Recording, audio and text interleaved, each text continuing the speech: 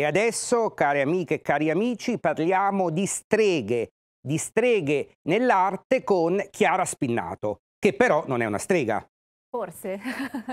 Buonasera. Lei produce delle mostre molto belle, è la titolare di Vertigo Sindrome e ha prodotto anche una mostra proprio su di loro, sulle streghe, sulle sovversive della storia. Guardate un po'.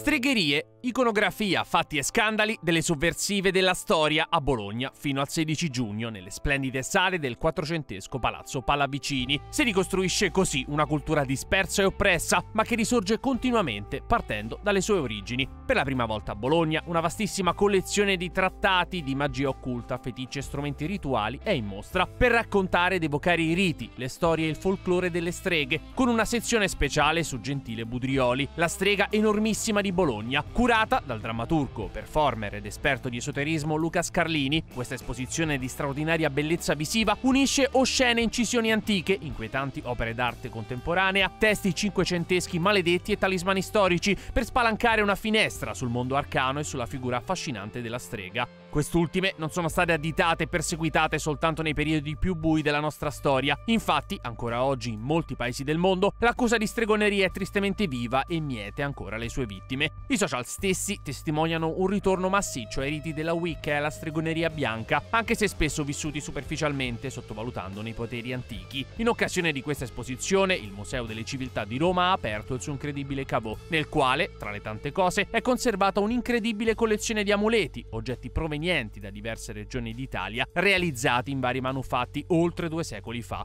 Tra i più incredibili si segnala la famosa carta manoscritta trovata alla sua morte nello scapolare della strega Conti in Toscana, databile intorno alla fine dell'Ottocento. Chiara, tu produci mostre come quella che abbiamo appena visto. Come ti sei avvicinata a questa professione?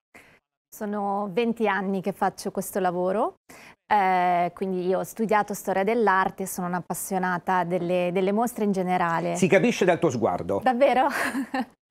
Ma due anni fa ho preso questa decisione di creare una società mia, eh, quindi ho fatto un gesto folle, ho venduto casa mia e con questo ho deciso di avere diciamo, le, le, risorse per creare una, una nuova attività. Da vera imprenditrice quindi? Sì, proprio di quelli matti. Eh, con me al mio fianco c'è mm, Filippo Giunti che invece è un pubblicitario, quindi l'idea è quella di creare delle mostre un po' diverse. Infatti Vertigo Syndrome ha un motto che è quello eh, di essere una crociata contro l'uggia delle mostre d'arte. Eh... Le trovi molto uggiose? Sì. Abbiamo anche un commento audio. Eh. Ecco. La nostra regia è d'accordo allora. È d'accordo. Io io stessa mi sono accorta che iniziavo ad annoiarmi a fare le mostre che ideavo e producevo, cioè noi organizzatori di mostre tendiamo poi un po' a lavorare come giusto che sia, come se fosse un'industria, però essendo molto ripetitivi e secondo me si seguono delle, degli schemi che sono molto simili a se stessi. In che cosa è diversa questa mostra sulle streghe? Innanzitutto per il tema, io penso che altri organizzatori non l'avrebbero mai, mai, affrontato. Perché? Dà fastidio a molti come, come, tema, quindi non è facile anche essere ospitati. C'è ancora un tabù sulle streghe? Sì, io pensavo di no, Luca Scarlini, il nostro curatore, mi diceva vedrai che sarà difficile, io sempre ottimista, invece è difficile.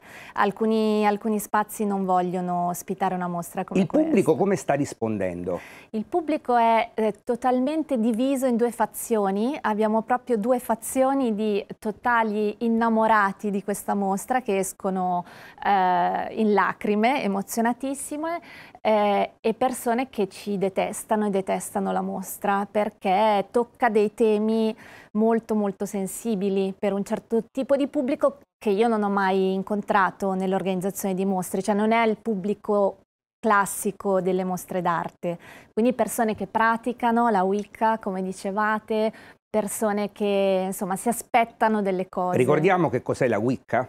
È una sorta di religione moderna oramai dedicata proprio al culto della, della stregoneria.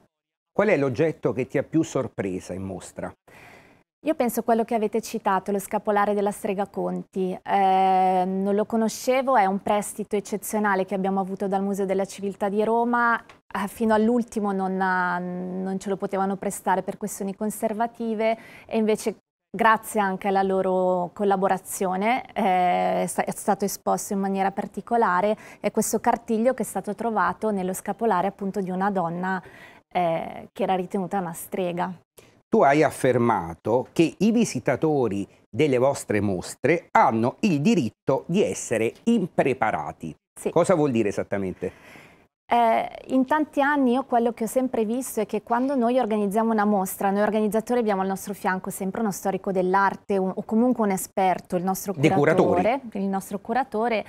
Quello che si tende a fare, io stessa anche, che eh, eh sono, insomma, è il mio mondo, pensiamo di parlare a persone che fanno parte del nostro mondo e quindi usiamo lo stesso linguaggio, pensiamo che loro sappiano delle cose, cioè diamo per scontato tutto questo ed è inevitabile che allontaniamo un altro tipo di, di pubblico. Cioè persone... C'è anche un certo snobismo di fondo in molto, alcuni casi. Molto, molto. Io ho visto che queste affermazioni che noi facciamo sono state fortemente eh, insomma, contrastate da persone che io conosco, con cui lavoro da tanti anni. Cioè eh, il fatto di volersi, tanti lo dicono, ma farlo poi così, con una dichiarazione così esplicita, non piace. Noi diciamo sempre che per far capire, quando pensiamo una mostra, ci sforziamo di pensare non a te Cesare che stai venendo e hai deciso di vedere la mostra, ma alla persona che ti deve accompagnare, quindi quella che era seduta sul divano e voleva vedere Netflix. Quindi noi dobbiamo non tanto erudire quella persona, ma farla uscire con la voglia di saperne di più. Il vostro grido di battaglia è mostra, non spiegare. Sì, poi in realtà noi spieghiamo e abbiamo molti eh, l'attenzione a raccontare quello che abbiamo al nostro interno, ma quello che noi cerchiamo di non fare sono ad esempio i muri di testo, cioè tu entri in una mostra e spesso trovi questi pannelli fittissimi, piccolissimi, dove viene spiegato tutto, ma non è questa la sede, cioè la mostra non è un libro, una mostra è un'esperienza che tu fai. Quindi ripeto, meglio dire qualcosa in meno e uscire con la voglia di, di saperne di più. Vi siete occupati anche di mostri giapponesi. Sì. Guardate un po'.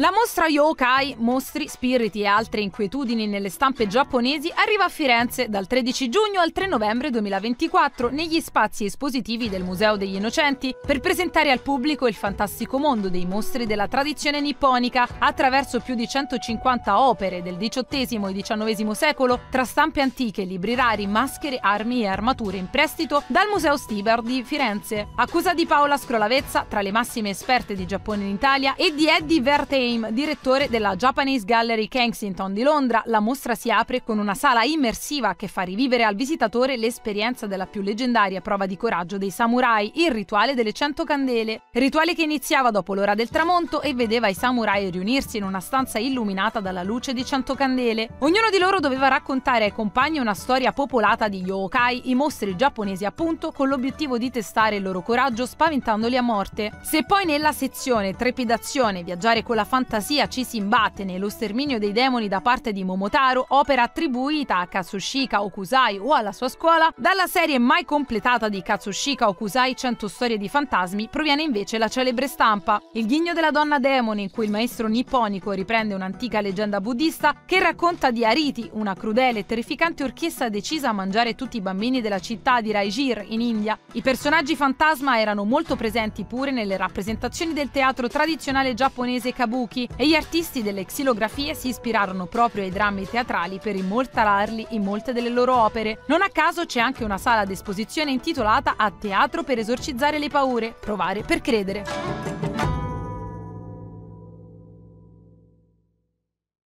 Chiara, perché hai deciso di produrre questa mostra?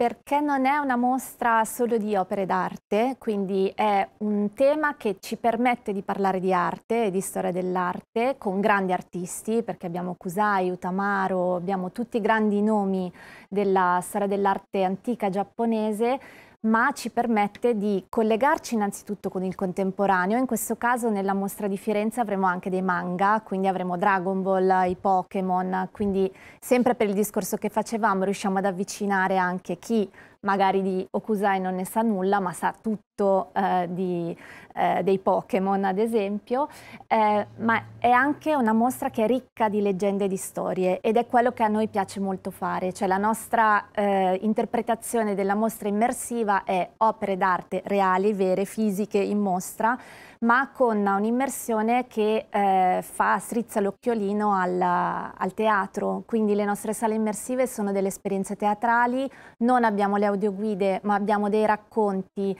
all'interno della mostra, questo piace tantissimo, non piace per nulla, ma eh, è il vostro stile. È il nostro stile, eh, l'idea, questo devo dire merito di Filippo che mi ha spinto verso questo, il mio socio, è o piaci molto o non piaci per nulla, accontentare tutti non si può. E quindi eh, entrando nelle sale si ascoltano dei racconti, alcune persone dà fastidio, molte invece rimangono molto emozionate. La sala delle 100 candele in questo caso interpreta... È sorprendente. Sì, sì. Eh, interpreta un, ri un rituale che realmente accadeva eh, però lo fa rivivere, quindi non è semplicemente la videoproiezione che dà, cioè quello che noi non vogliamo fare è realizzare delle sale immersive che siano solo videoproiezioni, ecco per noi è solo videoproiezione, invece la videoproiezione deve essere a servizio di un'emozione appunto ripeto simile a quella del teatro. E adesso noi andiamo a vedere un'altra vostra mostra, la nuova onda delle stampe giapponesi. Con l'aiuto di scatti, video e riviste d'epoca, abiti femminili che ricordano la tradizione giapponese, ma nei quali già si intravede l'influenza modernizzatrice d'oltreoceano Shinanga, la nuova onda delle stampe giapponesi, ricrea a Torino, a Palazzo Barolo, fino al 30 di giugno, l'atmosfera densa di aspettative e nostalgia di inizio Novecento, presentando al pubblico un'incredibile corrente artistica ancora sconosciuta in Italia, che dipinge un nuovo spaccato, vivido e intenso del Giappone tra le due guerre dalle stampe dominate dai toni più cupi del blu, dove l'unica nota di luce è la luna, alle marine bagnate dal sole al tramonto dalla luce delle lanterne delle imbarcazioni, fino alle pagode che svettano sui ciliegi in piena fioritura. Quello che viene alla luce è un paesaggio ideale, emozionale e simbolico, uno sfondo sul quale spiccano le silhouette femminili, icone malinconiche e inquiete della conquista della modernità. Le ragazze immortalate nelle illustrazioni non soltanto sono donne comuni, ma iniziano a muoversi anche al di fuori delle mura domestiche, nelle vie o nei locali dei quartieri alla moda. Sono cameriere, insegnanti, infermiere e dattilografe, giovani indipendenti e istruite, emancipate, pronte a cogliere le numerose opportunità che il nuovo Giappone offre loro dopo il grande terremoto del canto del 1 settembre 1923, il peggiore nella storia del Giappone che causò oltre 100.000 morti e rase completamente al suolo una vasta area attorno alla capitale. Soprattutto nelle xilografie prodotte dopo il disastro, racconta il senso di smarrimento e la solitudine dell'individuo di fronte alla fragilità dell'esistenza, ma anche la rinascita dalle ceneri di una nuova Tokyo, sempre più proiettata verso il futuro e con lei una società all'avanguardia e aperta allo stile di vita occidentale.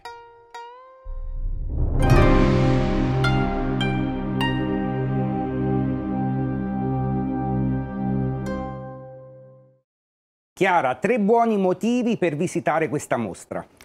Innanzitutto è la prima volta in Italia, non è mai stata realizzata prima questa mostra, quindi non possiamo parlare di mostre itineranti in questo caso.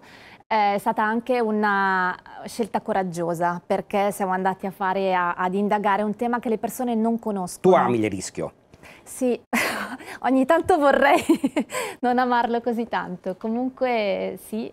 Eh, era un eravamo un po' stufi della, solite mostre sull'ukiyo-e, quindi eh, l'idea era quella di indagare un qualche cosa dopo.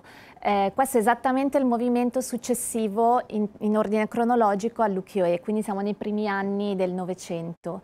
Eh, L'altro motivo è perché si vedono opere che non si possono vedere in un altro modo perché sono tutte collezioni private, eh, sia italiane ma anche inglesi, la Japanese Gallery Kensington di Londra e collezioni giapponesi. Quindi diciamo finita la mostra queste opere non si potranno più ammirare. Eh, è esattamente la congiunzione, cioè tanti visitatori ce lo dicono ed era questo l'obiettivo, la congiunzione con quello che poi ci fa arrivare al manga, cioè vedendo queste opere si capisce come mai ci siamo arrivati, quindi ci si riconosce di più ed è un Giappone eh, diverso da quello che noi ci siamo immaginati. Abbiamo scelto delle musiche dell'epoca, dei video d'epoca che escono un po' dal nostro, insomma, dalla nostra idea di Giappone, quella un pochino più stereotipata del, del periodo periodo Edo. Tu sei appassionata di cani? Sì, Hai anche un cane, vero? Peter, sì. Noi adesso ci occupiamo di dog photography. Guardate un po'. La dog photography, la fotografia di animali domestici specializzata in cani, risale addirittura a metà Ottocento, ai tempi dei grandi documentaristi di specie selvatiche come William Fox Talbot. Negli anni 60, con l'evoluzione delle tecniche fotografiche e dei mezzi, alcuni fotografi iniziarono a offrire veri e propri servizi fotografici per animali domestici. Se un tempo questi servizi erano appannaggio esclusivo degli aristocratici o delle star di Hollywood, oggi la situazione è cambiata. La fotografia cinofila è diventata una professione curiosa e sempre più popolare all'interno della sua nicchia di mercato. Rivolgersi a un fotografo professionista per i propri amici a quattro zampe è una scelta sempre più attuale e diffusa. Oggi, infatti, un nucleo familiare su tre possiede un cane e la probabilità di chiamare un fotografo specializzato in cani è in netta crescita. Si tratta di un settore specifico con regole tecniche, clienti e sbocchi commerciali propri. Tra i professionisti di questo campo spicca Mattia Gorno, nato a Varese nel 1977. L'arrivo di un cucciolo di Labrador nella sua famiglia ha acceso in lui una passione per la fotografia cinofila, trasformando il suo modo di vedere la fotografia. Gorno è oggi orgoglioso di vedere le sue fotografie pubblicate su riviste di settore sia in Italia che all'estero, come Quattro Zampe, Pet Family e Partner Hand. E siamo ora collegati proprio con Mattia Gorno, collegato con noi da Prunaro in provincia di Bologna. Buonasera Mattia. Buonasera, ciao a tutti. Un saluto a tutti i vostri telespettatori. So che non sei solo però. Non c'è con solo. te intorno Ho a te? Ho portato un'allegra compagnia. Fai venire Yuka? Arriva, eh? È una piccola brigata, diciamo. Sì, una piccola brigata. Ah, la puoi anche accompagnare. Si stanno facendo desiderare come le star, naturalmente. Dai, Eccoci. Eccoci. Chi abbiamo qui? Allora, qui abbiamo Yuka, un giovane border collie, anzi una giovane border collie, eh, con cui lavoro spesso e facciamo un sacco di attività insieme. Lei è molto brava, ha un'ottima capacità di concentrazione e fa anche un sacco di attività sportive perché fa agility dog ed è veramente super veloce come si diventa dog photographer, quindi fotografo di cani?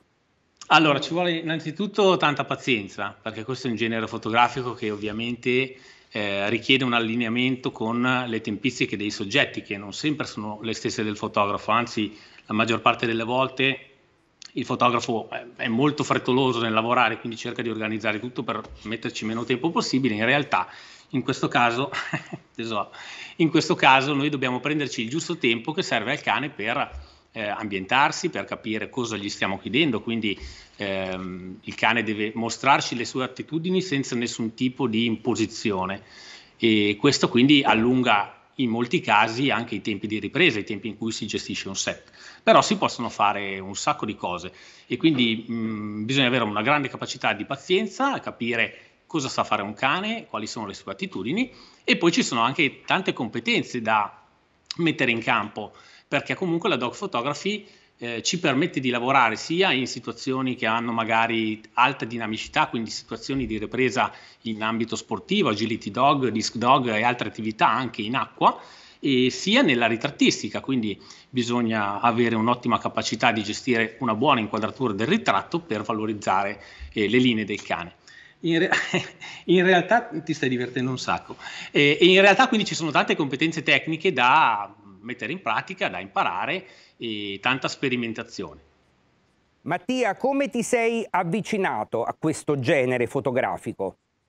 Allora, io mi sono avvicinato otto anni fa quando è arrivato Achille, il mio cane, e ovviamente Achille da cucciolo era spettacolare perché è un Labrador cioccolato, E per cui ho subito iniziato a lavorare con la mia macchina fotografica per cercare di fargli qualche bel ritratto, qualche bella foto. Ovviamente non ci sono riuscito perché non avevo ancora mestiere per capire cosa dovevo fare, ma piano piano con l'esperienza, insomma con lo studio e attraverso anche l'aiuto di un sacco di aiutanti come Yuka e Glitch che tra poco arriveranno, eh, ho capito che cosa dovevo fare, quindi quali erano un pochino le richieste che potevo fare e come potevo gestire tutte le tempistiche, come abbiamo detto prima, di scatto per avere il cane a disposizione per qualche secondo. Quindi eh, ho capito come richiamare la loro attenzione, come ehm, permettere al cane di esprimersi senza dovergli eh, causare uno stato di sofferenza o di malumore, chiamiamolo così, perché anche loro mostrano quando posano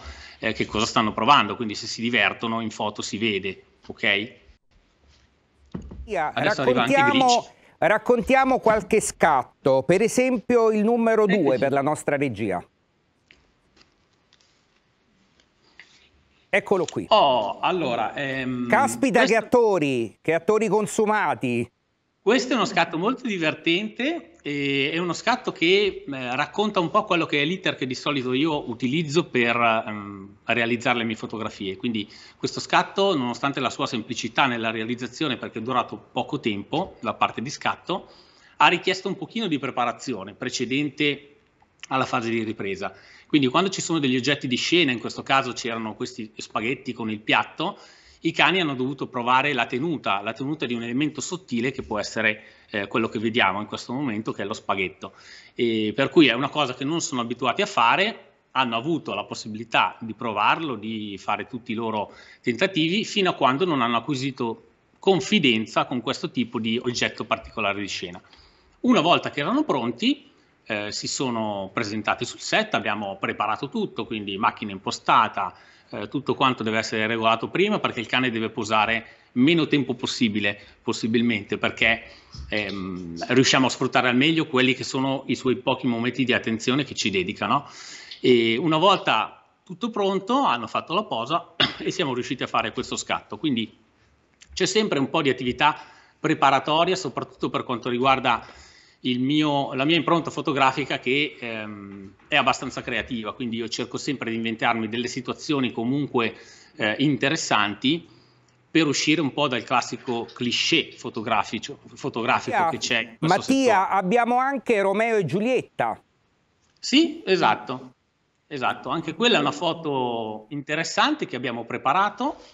Eh, in quel caso abbiamo provato la tenuta dell'oggetto che è questa rosa e anche la posizione di appoggio delle zampe eh, su un supporto sollevato. Quindi per avere questo tipo di composizione e la, questa doppia posizione dei cani abbiamo fatto fare delle prove per capire se le altezze andavano bene, se tutto coincideva, insomma c'è anche qui stato un, un po' di lavoro preparatorio prima della fase di posa. Eh, hanno provato le pose a casa tranquillamente con i propri proprietari e poi una volta sul set eh, Chuck si gira e abbiamo realizzato questa foto. Che cosa vuoi organizzare ora per noi, live, in diretta, con i tuoi attori, allora, con le tue attrici?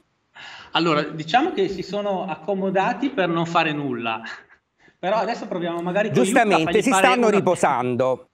Proviamo a fare posare Yuka, gli facciamo fare una piccola posa da seduta eh, gli richiediamo l'attenzione dall'altra parte della camera, così vediamo di capire anche qual è il momento esatto in cui scattare la foto, il momento in cui il cane magari tira sulle orecchie, quindi ci dà eh, una buona morfologia di tutta la sua sagoma, perché anche i cani hanno delle linee, hanno delle forme da raccontare, no? Quindi alcuni cani con le orecchie basse sono meno fotogenici. Se riusciamo invece a richiamare l'attenzione, funziona di più. Glitchy, dobbiamo scendere? Eh sì. Olè, olè, olè. Dai, dai. Esperimento oh. in diretta mai fatto in tv, credo, eh? Uno shooting canino. Arriva anche Yuka, eh? Chiara, intanto ti vorrei domandare, produrresti una mostra di dog photography? Ma sì. È nata un'idea, ci piace. Molto bene. Ok. Adesso Serena la chiamo. Un Sembra una versione canina di Ballando con le stelle. Eh, sì, esatto. Ok, adesso lei in attenzione sta guardando il suo target. eccola qui.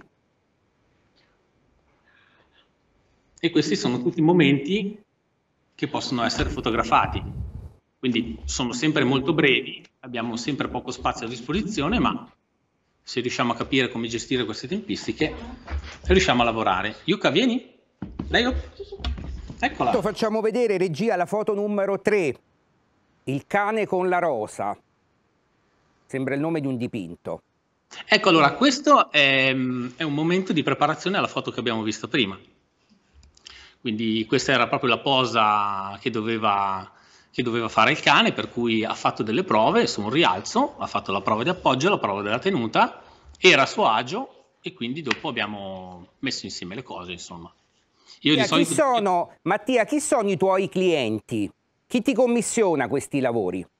Ah, allora, i miei clienti sono tutti quelli che hanno un pet o un cane in famiglia, quindi diciamo che oggi il cane in famiglia ha acquisito una certa importanza nel nucleo familiare e quindi c'è una notevole attenzione verso questo genere fotografico, per cui la ritrattistica si è molto rafforzata e la necessità di farsi fare una foto con il proprio animale, che sia cane o gatto, eh, è diventata veramente importante. E quindi sicuramente tutte le famiglie, ma anche eh, chi fa attività sportiva. Eh, non dimentichiamoci che oggi i cani fanno un sacco di cose, agility dog, disc dog, lo abbiamo visto prima, e quindi ci sono tutti questi binomi che affrontano questi campi gara, eh, si, come dire, eh, si lanciano in queste corse e in queste prese molto spettacolari, sia per il disco che per quanto riguarda l'agility dog, quindi il superamento di ostacoli, e ci sono un sacco di momenti dinamici molto interessanti da poter fotografare eh, in compagnia del proprio proprietario, quindi sono tutti binomi che si possono in qualche modo fotografare. Qual è la razza più fotogenica? Eh, questa è una domanda tra, a trabocchetto, non lo posso dire, non si può dire questa cosa, perché farei un torso a tutte le altre, secondo me sono tutti fotogenici. Ok, diciamo che risposta. ci sono razze... Ottima eh, risposta. Grazie delle... Mattia, grazie a Iucca, grazie anche a Chiara. Ed ora pubblicità. E poi arriverà nei nostri studi Caravaggio.